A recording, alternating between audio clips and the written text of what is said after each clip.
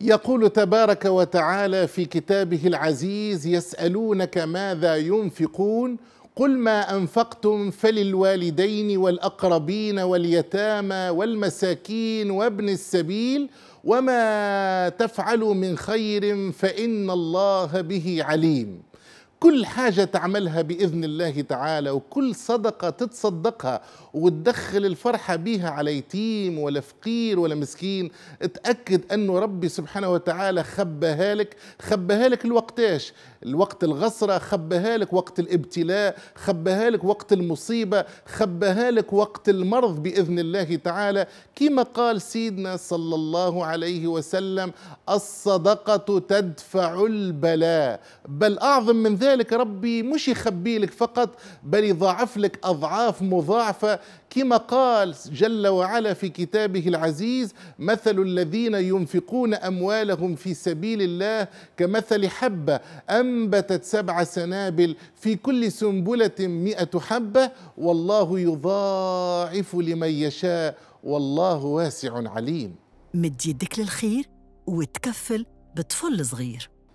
الكلام اللي قلناه توا نجم نترجموه على الصعيد الواقع من خلال المشاركة في الحملة الوطنية اللي أطلقتها الجمعية التونسية لقرى أسواس دينار فقط في اليوم.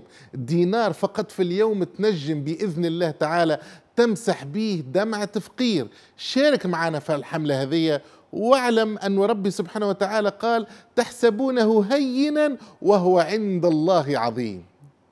الاقتطاع الآلي القار. هي آلية دعم جديدة شفافة ومضمونة وفرتها الجمعية التونسية لقرى الأطفال أسواس ووضعتها على ذمة داعميها بالتعاون مع البريد التونسي وذلك بعد الحصول على ترخيص من البنك المركزي. هي عبارة عن اقتطاع آلي شهري من الحساب البنكي للمتبرع بمبلغ مالي هو اللي حده. الآلية هذه قادرة توفر للجمعية مداخيل قارة تخليها تعمم خدمات الرعاية على عدد أكبر من الأطفال فاقدي السند وتخليها زادة تحسن من جودة ونجاعة برامجها وتدخلاتها في إطار معاضدة جهود الدولة. للانخراط في منظومة الاقتطاع الآلي القار يكفي باش تدخل لموقع الجمعية www.sosve.tn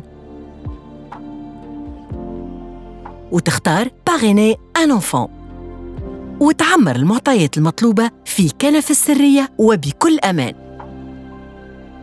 عملية الاقتطاع تصير بعد التأكد من وجود رصيد في الحساب البنكي للمتبرع اللي بإمكانه تغيير المبلغ المخصص للاقتطاع أو تعليق التبرع ظرفياً أو إلغاؤه في أي وقت. انخراطك في منظومة الاقتطاع الآلي القار هي مساهمة نبيلة في توفير حضن دافئ لآلاف الأطفال المهددين. واستثمار حقيقي في استقرار وتوازن المجتمع اللي ننشدوه لينا ولأولادنا. مد يدك للخير وتكفل بطفل صغير.